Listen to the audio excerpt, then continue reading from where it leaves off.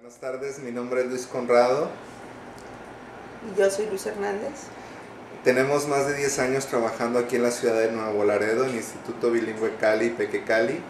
Y durante este tiempo hemos ayudado a más de 500 niños en la ciudad al desarrollo de su máximo potencial.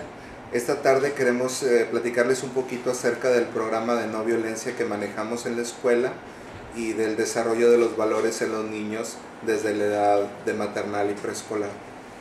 Sí, creo que es muy importante resaltar que en una sociedad con la, en la que estamos, en donde se está viendo tanta violencia, tantas situaciones de inseguridad, son los niños los que necesitan apoyo y la educación es un medio para poder lograr avances. ¿Cómo perciben los niños este, este ambiente? Pues sí, e, estando dentro de él, pues forma parte de su vida cotidiana, escuchan palabras como narcotráfico, como inseguridad, como, como asesinatos, como, Secuestro, como robos. secuestros y robos, exactamente, que, que a veces no alcanzan a comprender su magnitud, pero que sí perciben que, que genera una angustia en los mayores, que genera una situación en la que hay peligro.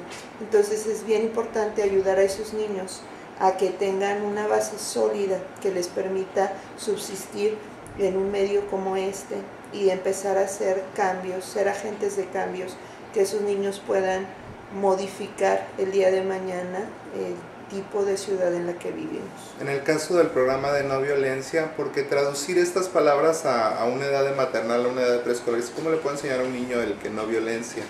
Entonces no nos damos cuenta de, de, que los tipos de juegos que ellos están llevando a cabo, de los que ellos practican diariamente, el, los disfraces que se les compran, a lo que se les permite jugar, los roles que están aprendiendo, promueven esa violencia. Entonces en el colegio tenemos este, el, el programa que, que, no le permite a los niños este, jugar a las guerras, a las luchas, a matar, a, a estar agrediendo al otro y se vive día a día, es algo, es algo vivencial. Entonces las maestras tienen la capacitación y le dan ese seguimiento para que el niño pueda canalizar positivamente y encuentre otra forma de jugar. Me mencionabas algo que es importante y es la diferencia entre, entre el educar, de transmitir información, al educar, entre formar al, al individuo. Explícame un poco eso. Sí, o sea, no podemos eh, darle atención solamente a la parte mental, no podemos pensar que un niño necesita solamente letras y números, que necesita solamente un aspecto académico. El ser humano tiene una parte espiritual, tiene una parte mental, tiene una parte física y son unos valores universales los que lo pueden llevar a darle una estructura sólida que le permita desarrollarse sanamente. Entonces no podemos enfocarnos solamente a que yo soy escuela, yo te enseño lo que tú tienes que saber para esta edad. No, también hay un ser humano que tiene una necesidad de ser escuchado, de saber cómo se debe conducir ante la vida. Los padres hoy en día tienen un trabajo muy absorbente y, y nosotros como escuela necesitamos darle esa... En una sociedad de consumo, de alto consumo, como es la que, la que están viviendo, este, estamos viviendo actualmente. ¿cómo se debe formar a un niño? ¿Cuál es el reto?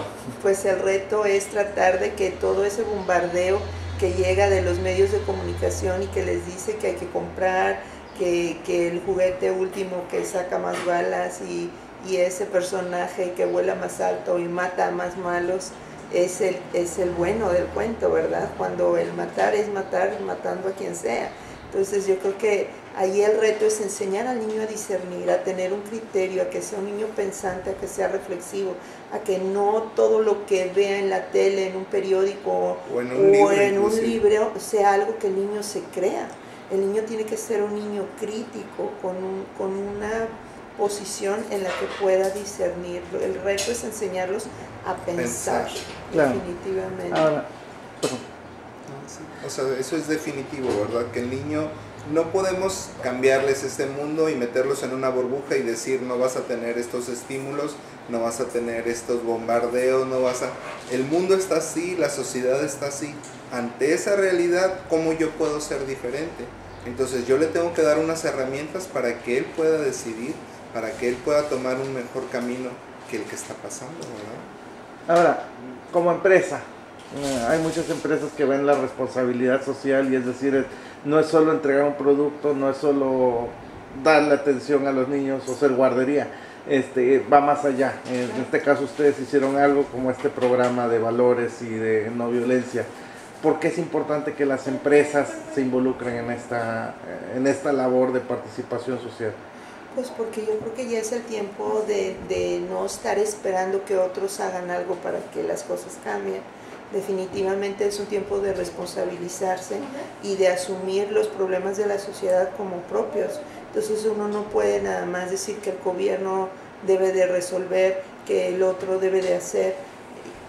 Y eso va en todos los ámbitos, ¿verdad? Como escuela, como empresa, tenemos que responsabilizarnos de que tenemos niños que, que están aquí, que, tienen, que tenemos la confianza de un papá que te está dando a lo más querido que es su hijo y que definitivamente eh, necesitamos darle más, si no pues no vamos a lograr un cambio y nos vamos a quedar en la queja todo el tiempo. Sea, como, como sociedad, como empresa, cada uno tiene una responsabilidad, formamos parte del todo.